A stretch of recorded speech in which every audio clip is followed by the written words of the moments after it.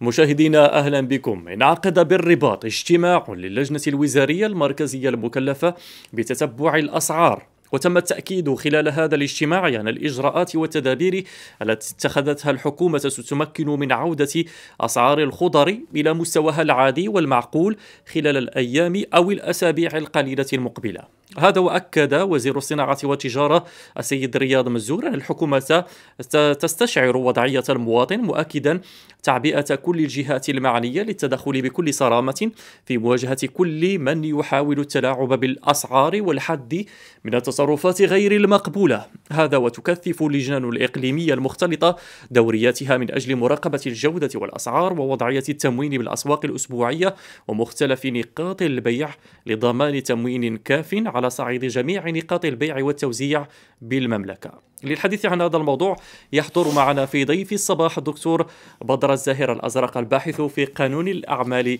والاقتصاد. دكتور مرحبا بك. سعيد باستقبالك معنا. مرحبا أستاذ بدر صباح النور. اذا دكتور في البداية ما هي الأسباب التي تجعل الأسعار ترتفع؟ يعني أسعار بعض المواد خصوصا بعض المواد مثلا كالخضار أو أو اللحوم أو غيرها ترتفع وفي وقت معين. هي عموما هناك محددين أو عاملين أساسيين. العامل الأول هو كما سبقنا تحدثنا عنه عدة مرات هو عامل خارجي هو عامل مستورد. حين نتحدث عن ارتفاع أسعار المحروقات بالنسبة لبلد يستورد أكثر من 99% من استهلاكه من المحروقات والطاقة من الخارج. فهذا يعني أن كل الصناعات والفلاحات المرتبطة أو التي يدخل فيها عنصر الطاقة أو الغاز أو المحروقات فهي أيضا ستشهد ارتفاعا طفيفا في في أسعارها. وأيضا أن نحن نعلم أن أيضا حتى الخضروات يدخل في آه، تكلفتها أو في حساب تكلفتها حساب النقل وما يدور في فلكه. ولكن هذا ليس هو المحدد الرئيسي والأساسي في في رأيي اليوم حين نجد أن هناك خضروات تنتج في المغرب آه، وتسوق في المغرب ونرى أن هناك ارتفاعا كبيرا في أسعارها. هناك بعض المبررات منهم من تحدث على أن ظروف مناخية هي التي أسهمت في هذا الارتفاع والالتهاب في الأسعار. ولكن لنكن صريحين وواضحين مع أنفسنا أن هناك مجموعة من الممارسات الغير مقبولة سواء في أسواق الجملة سواء خارج أسواق الجملة آه، في سلاسل التسويق آه، من مضاربات من احتكار. يجب أن يتم التصدي لها بشكل صارم. وأظن أن هذا هو الأمر الذي خرجت به اللجنة الوزارية أو البي الوزارية اليوم هي أنها سوف تتصدى لكل الممارسات وسوف تجد حلولا لمجموعة من الإشكالات المرتبطة بسلاسل التسويق وبالأسعار وبالأثمنة حتى تظل عند المستويات المقبولة لدى المواطن المغربي وعند مستوى قدرته الشرائية الآنية. طيب دكتور لكي نفهم أكثر لماذا ينتج يعني إشكال في توريد آه، منتج من المنتجات غالبا ما يكون آه، منتجا أو منتوجا أساسيا ويرتبط فترة من الفترات يعني آه، مثلا نشهد أزمة الطماطم أزمة اللحوم في السابق الحليب آه، لماذا هذا الأمر؟ للأسف كما قلت هناك مجموعة من الممارسات في مقدمتها المضاربات. المضاربات هناك من يبيع مثلا غلة أو محصول ما وهو لا زال في الحقل أو في الحقول وبالتالي تتم المضاربات قبل أن يصل هذا المنتوج إلى سوق الجملة وبالتالي تتم المضاربات وهذا المنتوج لم يقطف بعد وترتفع أسعاره بشكل جنوني وغير مبرر. ثم تأتي المرحلة الثانية هي مرحلة أسواق الجملة. أسواق الجملة هناك مجموعة من الأشياء أو مجموعة من من من من المحددات التي أيضا تسهم في ارتفاع التكلفة منها بعض الممارسات الريعيه داخل أسواق الجملة. سبق وأن تحدثنا مثلا عن مربعات داخل أسواق الجملة يفرض على البائعين يفرض على الفلاحين ان يضعوا مثلا منتجاتهم الفلاحية فيها قبل أن توجه للتسويق فيما بعد ذلك خارج أسواق الجملة وهو ما يرفع التكلفة لأن المرور بهذه المربعات يعني تكلفة زائدة وهي ترفع من تكلفة كذلك هذه المنتجات الفلاحية. ثم تكون مضاربات حتى بعد الوصول إلى إلى إلى إلى حتى في اقتراب هذا الوصول إلى المستهلك النهائي. اذا سلسلة التسويق كلها إلى الاحتكار. آه بالإضافة إلى الاحتكار. هناك من يحتكر مواد هناك من يحتكر أو خاصة مع اقتراب شهر رمضان هناك توجه لدى عدد من الموزعين الكبار إلى التقليل من الموجود في السوق. إلى حين بلوغ شهر رمضان ثم تزويد السوق بما يحتاج إليه ولكن وفق أسعار متوافق عليها. أيضا تكون هناك تواطؤات على مستوى الأسعار بين كبار موزعين المواد والمنتجات.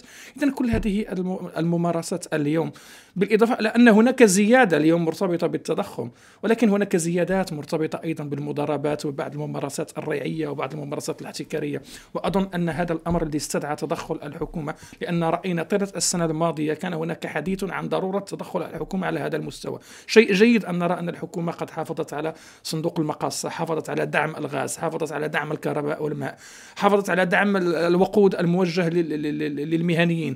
رفعت من الرسوم في فت... على واردات القمح والحبوب في, في فترة من الفترات حين كان الجفاف يضرب الفلاحة المغربية ولكن لم تكن نفس الإرادة ونفس التوجهات على مستوى محاربة كل هذه الممارسات طيب المرتبطة. دكتور نعم. بذكر يعني تدخل الحكومة ما هو مجال تدخل السلطات السلطات للحد.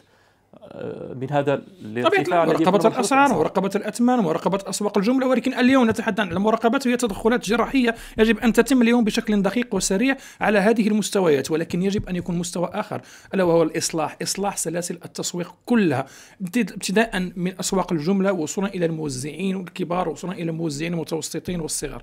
إذا هذه السلسلة هي بحاجة إلى الإصلاح وإلا فسوف نضر في اجترار وإنتاج نفس المشاكل سواء هذه السنة أو السنة المقبلة أو السنة التي التي تليها وهذه المشاكل تزداد مرتبطه بارتفاع الأسعار تزداد حده كلما كانت الأزمة. يمكن في السنوات الماضية أننا لم نكن نلقي بالا لهذه الإشكالية المطروحه على مستوى أسواق الجملة وسلاسل التسويق على اعتبار أن كانت الأسعار مهما ارتفعت تظل مقبولة بالنسبة للمواطن المغربي أو ترتفع فترة معينة موسميا ترتفع في نطاق معين زمنيا وأيضا. نشهد نعم. أننا نتحول تدريجيا إلى ارتفاعات مزمنة ومستدامة وبالتالي هذا ما دفع للمطالبة بتدخل عاجل من قبل الحكومة من قبل المصالح المختصة بمراقبة الأسواق ومراقبه بضروره تدخل مجلس المنافسة من أجل مراقبه أيضا كبار الموزعين والاشياء اذا اليوم يجب أن يكون هناك تدخل عاجل من قبل الحكومة على المدى القصير والقريب جدا من أجل إن شهر رمضان لا تصير عليه إلا بضعة أسابيع اليوم. ولا نريد أن يكون هناك انفجار في الأسعار خلال شهر رمضان. قد يكون لديه انعكاس أيضا على الوضع الاجتماعي والاستقرار الاجتماعي في المغرب. وهذا ما تمثله دعوه رئيس الحكومة إلى الوزراء بالنزول أيضا لمراقبة الوضع وأيضا اللجان الإقليمية التي كثفت من آه، دورياتها من أجل مراقبة آه، الأسعار أكيد. كذلك والمتضرر الأساسي الاساسي المتضررين. نعم. المواطن وأيضا نعم. الفلاح. الفلاح. الفلاح تقريبا. لأن لأن من من يربح في هذه السلسله هم المضاربين. المضارب راه مزرع ما حرث ما راقب. بعض المرات حتى الموقف غير في سوق الجملة ويوزع ويبيع وينقل ما كيديرش هذه الممارسات اشكاليه كبيرة جدا. نتكلموا بصراحة. المضاربين قد يبيع المحصول هو لا زال في حقله ويشتري هو لا زال في حقله ويحقق أرباح كبيرة. اذا هذا المضارب لديه المال ويضارب بهذا المال وبطريقة لن أقول غير مشروعة ولكن غير أخلاقية لنكون واقعيين لأن في زمن الأزمة راه بعض الممارسات حتى لو كانت في الزمن العادي مقبولة في زمن الأزمة هي غير مقبولة نهائيا. واليوم نحن نعيش أزمة خانقة. لا جراء الحرب الأوكرانية الروسية والاثار السلبية الاقتصادية الناجمة عنها ولا سواء الآثار التي لازلنا نجترها من الأزمة الأولى الاقتصادية المرتبطة بكوفيد ولا بأزمة الجفاف اليوم. اذا اليوم خص يكون عند المواطنين المغاربة حتى المضاربين حس المواطنه ويكون عندهم واحد الحد الأدنى من الأخلاق ويراعيوا بأن راه هناك مستهلك راه ما قادرش يشري هذه المنتجات وهذه الخضروات بهذه الأثمان الآن مطروحه في دكتور هناك وسائل زجرية لمنع هذه المضاربات والاحتكار أكيد. كذلك وأي سلوكات انتهازية تؤدي أكيد. إلى آه هذا الارتفاع في الأسعار الحكومة لديها آليتها ولكن متابعة قانونية أكيد الحكومة لديها آليتها للتدخل واليوم رأينا بأنه اليوم هناك تفعيل أو دعوة لتفعيل هذه الآليات وغتكون هناك مراقبة على مستوى الاسواق على مستوى الموزعين وعلى مستوى اسواق الجملة. كذلك هناك القضاء لأن بعد الملفات راه خصها تمشي للقضاء لأن خص يكون هناك ردع على هذا المستوى وكفى من التلاعب بالأسعار.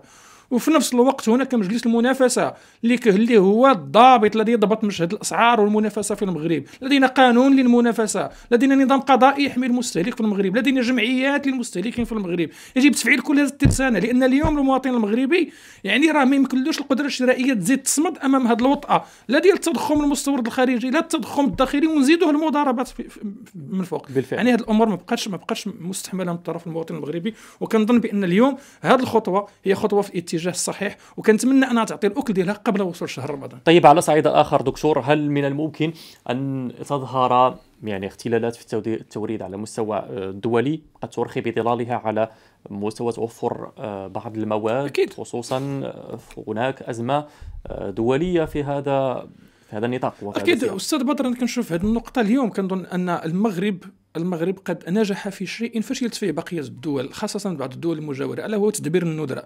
إحنا هنا في زمن الأزمة المستوردة الناجمة عن الحرب الأوكرانية الروسية واضطراب سلاسل التوريد ودخلنا في ندرة المنتجات ندرة الحبوب كيفية الوصول للحبوب. إحنا رأينا بأن الملايين من الأطنان بقيت محاصرة في الموانئ الأوكرانية آه، وهي من كبار المزودين. رأينا كذلك الإشكاليات المطروحة بإنتاج المحصول الوطني اللي وقع فيه انخفاض السنة الماضيه جراء موجه الجفاف ومع ذلك المغرب استطاع تدبير هذه الندرة راينا ارتفاع الطلب أن الكل يتبحث عن الهند عن روسيا عن أسواق في كندا وكان هناك اضطراب ولكن رغم ذلك ظلت الأسواق المغربية تزود بانتظام. حتى على مستوى الغاز لما أقفلت الإمدادات الشرقية على المغرب والمغرب لا يتوفر على محطات الغاز المسال يعني حصل المغرب على ما يحتاجه من حاجيته وظل الغاز مستقرا إلى حدود اليوم لم يشهد ارتفاعا في أسعاره. حتى الكهرباء مشهد ارتفاع الاسعار هذه من الأشياء التي تحسب لا الحكومة الحالية ولا الحكومة السابقة. باش ما نغطيوش الشمس بالغربال ولكن اليوم نتحدث على أن تدبير الندرة إن كان ناجحا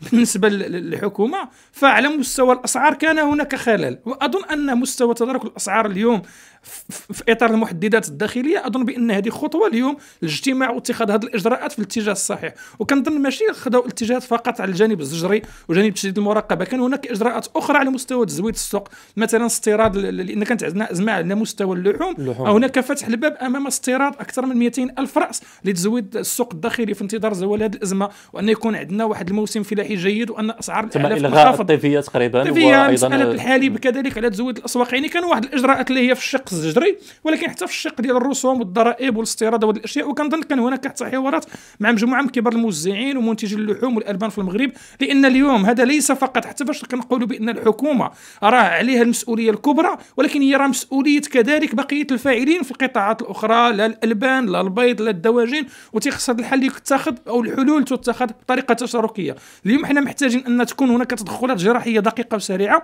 ولكن راه مفهوم الإصلاح خصو يكون مفهوم تشاركي ومستدام لأن ما خصناش دائما هذه الأزمات تكرر بهذا النوع وبهذه الحدة وضمن مفهوم المواطنه لأن السلوك المواطن كذلك في في في التجاره وفي نعم.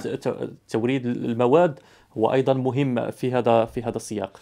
أكيد أكيد متفق معك تماما أستاذ بدر لأن اليوم إحنا في فترة حرجة شيئا مع المستوى الدولي وبالتالي بأن وان كان تقليص يعني هامش الربح مؤقتا بالنسبة لبعض الشركات اللي قلت لك قلت لك بأن راه بعض الأشياء اللي كانت مقبولة في زمن في الزمن العادي هي اليوم غير مقبولة على الأقل على المستوى الأخلاقي. يمكن القانون يسمح لك أنك ترفع الأسعار لأن إحنا في اقتصاد حر. في اقتصاد يعني ما, ما عندناش حدود من غير المواد التي هي منظمة بنص قانوني واللي كيحدد هوامش الربح فيها وكيحدد الأسعار ديالها بقية الأسعار هي مفتوحة للطلب والعرض. ولكن كنتكلموا حنا في زمن الأزمة راه كنتمنى أن هاد الفاعلين الاقتصاديين والموردين ياخذوا بهذا الاعتبار راه هذا راه ماشي وقت نرفع هوامش الأرباح. بالفعل. هذا الوقت اللي خصني نضبط فيه هوامش الأرباح ونبين على روح المواطنة ديال على العموم هناك يعني آه يعني دعوة إلى نعم. إلى خفض هذه الأسعار وهناك أيضا ترقب لرجوع أسعار بعض المواد إلى مستواها العادي والمعقول خلال نعم. الأيام أو الأسابيع القليلة المقبلة الدكتور بدر الزاهر الأزرق الباحث في قانون الأعمال والاقتصاد شكرا لكم على شكرا. الحضور معنا في ضيف صباح أما أنتم مشاهدينا فنشكركم على حسن المتابعة دمتم في رعاية الله إلى اللقاء